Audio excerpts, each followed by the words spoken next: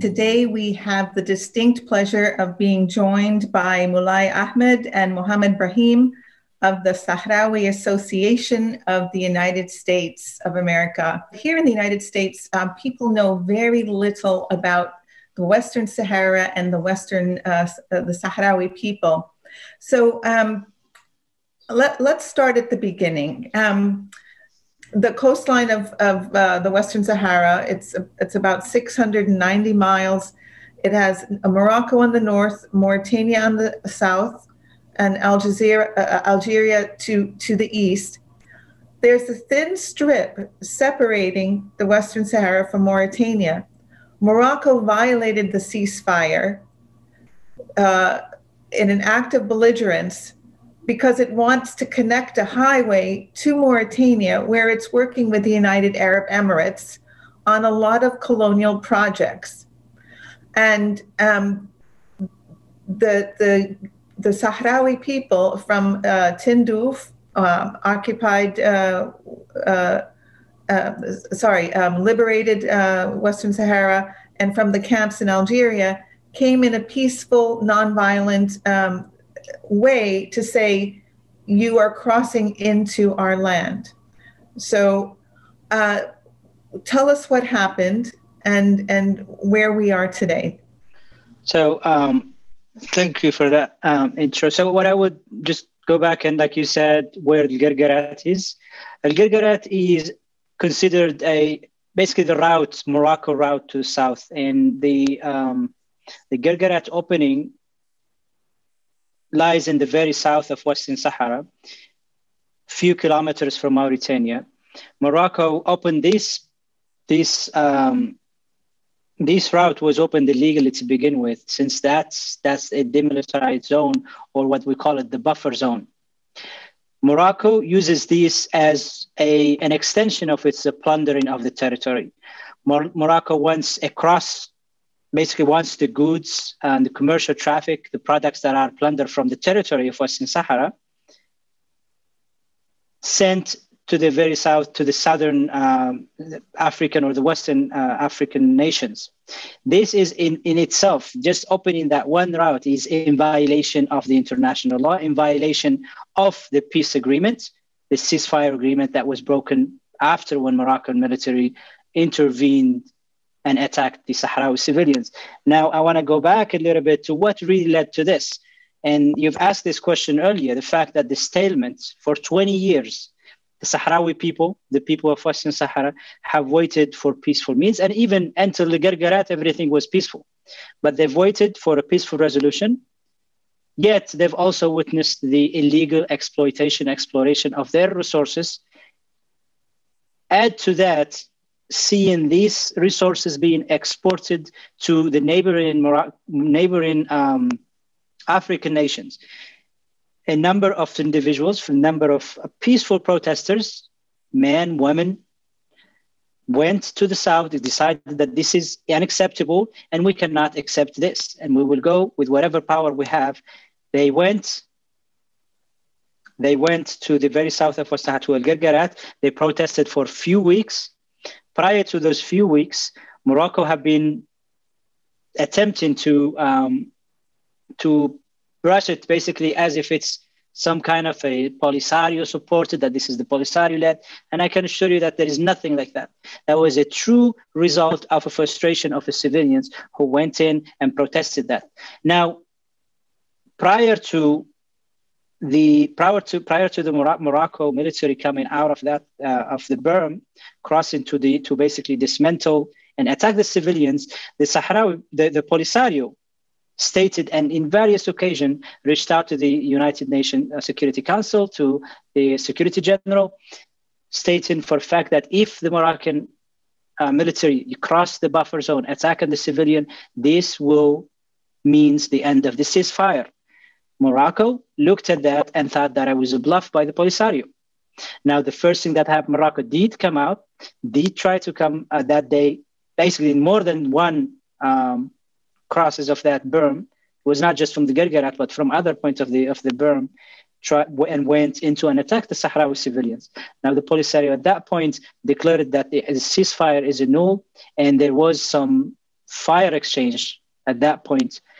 Luckily, there was no uh, no protester hurt at that time, but should the Polisario not intervene, the result would have been something completely different. And like you said earlier, after that, the Sahrawi people took up arms and um, took up arms, and Morocco basically thought of this. This is the opportunity for us to speed up the process, to pull up however many or pull up whatever string with the US admi- current administration to speed up the process of establishing, normalizing in exchange for the recognition of Western Sahara. And um, that's how I see, or that's how we know that the, the, the events unfolded from the Guerguerat all the way to where we're at right now. The United States, in the last year or so, has sold billions of dollars of weapons to Morocco. By selling weapons to Morocco, a, you know, a, a belligerent uh, party, the United States is recklessly endangering the region. And the way I see it, setting up a situation where we may have another Iraq and Syria and uh, extremism res- result. This is a this is a very dangerous and scary situation.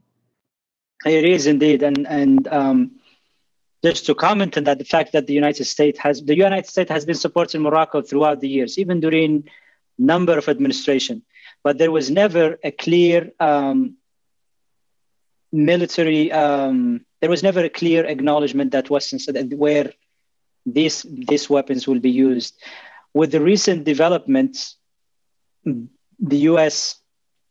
If, if the U.S. continue to sell um, military hardware to Morocco, there is a clear there is a clear one. They are acknowledging that Morocco, that whatever is happening, and this is maybe we'll get to this at some point, where uh, the recent um, recognition of sovereignty over Western Sahara, you would get to the point where the U.S. is no longer obliged to to to exclude Western Sahara. Now they will look at Western Sahara as internal issue within within within Morocco, and therefore it gives them the green light to sell weapons and hardware to them. There, the U.S. legislation, the U.S. Congress have blocked various resolutions, various uh, bills prior to block selling any weapons to anyone who will be using it against what is clearly known that is a a a, a, um, a colonization in an occupied nation that is the people of West Sahara or the Polisario have every right to fight and take arms. And everything that Morocco takes on, as far as military trades, we we know exactly where it's going. It's going to be used against the Sahrawi people. It's going to be used against the Polisario. It's going to be used against anything, and, and probably trying to enforce um, that berm, or even try to to to conquest the rest of the, the rest of the uh, the liberated zone. So the United States is taking a, is complicit in this occupation, in this colonization. The United States is taking part in a dangerous game that, like you said, that it will and it will and it, it could and it will destabilize the region. Algeria is a neighboring. Um, I don't think Morocco will dare to move to um, to to reach the Algerian border as far as the refugee camps. That just would, like you said, create ignite something bigger than what Morocco can handle, especially right now. Um, so to just comment on what you said earlier, yes, the US is playing a very dangerous, a very dangerous game that could definitely result in another vacuum up in North Africa to expand that sub-Sahara, that's to expand the Sahara, destabilize, allowing the extremism, giving an extension, another pocket for extremists and for anything that could be seen or could be deemed as destabilizing the region. So um, yeah, the U.S. is complicit in this, and the U.S. should not be taking um, should not be trading weapons with Morocco, knowing exactly what it's going to be used against people. The U.S. itself, until two days or three days or a week ago, recognized as non-self-governing territory. Um, I would like to add something else about the Guerguerat breach because I know that the Guerguerat uh, breach or passageway is illegal because it was not included in the ceasefire agreement. And here I would like to recall the military agreement number one that was uh, that has to be uh, modified uh, because it never included in the first place the existence of the Guerguerat breach. And so the UN now, the UN role is to um, legalize or to modify these agreements, rectify them, and at the same time should also t- assume its responsibilities towards the two parties of the conflict. Uh, this is just on the side because uh, there is a call also for the UN to assume its responsibilities towards its own commitment, organization of a referendum, and also preventing any misunderstanding of the terms of the UN peace settlement plan.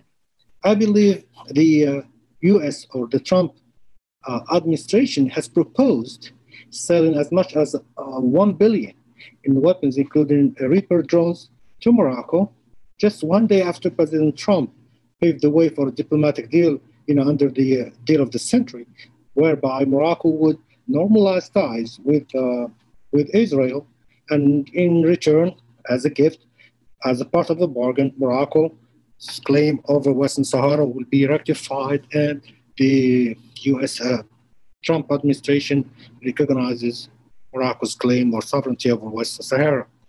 So this will uh, will actually result into creating a, a, a, very unique situation because as my friend here Mulay specified, uh, Western Sahara issue will be dealing with internally. And uh, these weapons, of course, will be used against Sahrawis or against Polisario, you know, during the war. And this is very unethical, uh, very irresponsible from the part of the US because civilians and other people might be targeted by these weapons. And also because the matter is still in the hands of the UN, and the US should have never, or the Trump administration should have never intervened to uh, do such an act.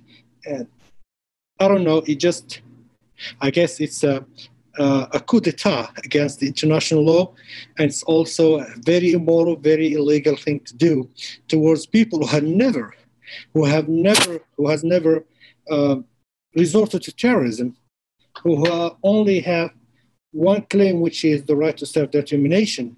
So this will bring also, will bring us also to reconsider the way the people of West Sahara be looking uh, you know, peacefully at this conflict, especially after the resumption of war, and how they're going to deal with this proclamation and how things will turn around in the next few, I don't know, months, years. I don't know how long it's going to take, but everything seems to be a little bit gloomy for some Sahrawis, while some other Sahrawis are sure that the war is only answer, and with all what it implies. And of course, uh, we don't know yet uh, what's going to happen with the Biden administration.